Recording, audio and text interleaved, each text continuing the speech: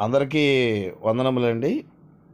ఈరోజు దేవుని వాక్యము జూలై నెల ఇరవై తొమ్మిదో తారీఖు గురువారం రెండు వేల ఇరవై ఒకటి.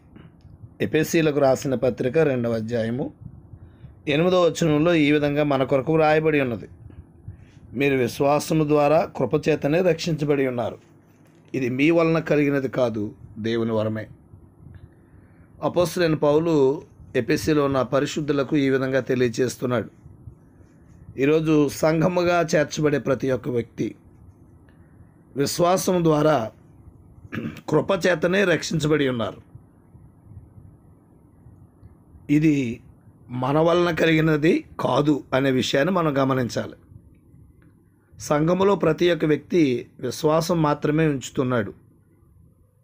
దేవుని కృప వలన రక్షించబడుతున్నారు. మనమేదో రక్షించబడుట కొరకు గొప్ప కార్యం ఏదో చేయట్లేదు. లేకపోతే గొప్ప పనిని చేసి మనం రక్షించబడట్లేదు కానీ కేవలం విశ్వాసం మాత్రమే ఉంచుతూ ఉన్నాం. బాప్తిస్మం ద్వారా సంఘములోకి చేర్చబడిన మనం కృపచేతనే రక్షించబడిన వారిగా ఉన్నామనే సంగతిని మనం గుర్తు చేసుకోవాలి. ఈ రక్షణ భాగ్యాన్ని దేవుడు మనకి కృపచేత అందించి ఉన్నాడు గనక ఇది దేవుని వరమై ఉన్నది.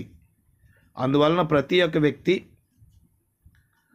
దేవుని వలన కృపచేతను రక్షించబడ్డాం గనక అది గుర్తించి రక్షణ భాగ్యం అనేటువంటిది దేవుని వలన కలిగినది గనక తగు జాగ్రత్తలు తీసుకుంటూ మరణ పర్యంతం వరకు వారి నమ్మకాన్ని కాపాడుకుని పరలోకము చేరుట కొరకు దైవికంగా జీవించవలసిన వారై ఉన్నారని గుర్తు చేస్తూ ఏకీభవిస్తే ప్రార్థన చేద్దాం. ప్రేమగల తండ్రి దయగల ప్రభ.